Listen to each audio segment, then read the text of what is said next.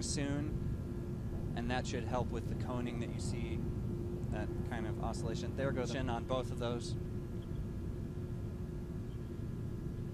Beautiful.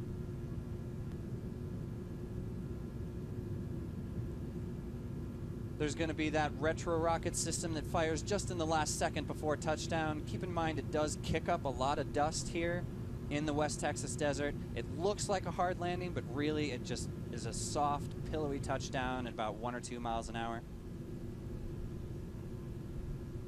And that's coming up in about 15 seconds. We should see that happen.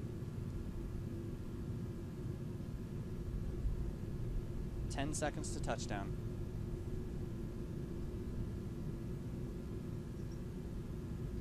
One hundred feet. Touchdown. Wow. Beautiful. Picture perfect. That's exactly what we want. Oh, that was magic.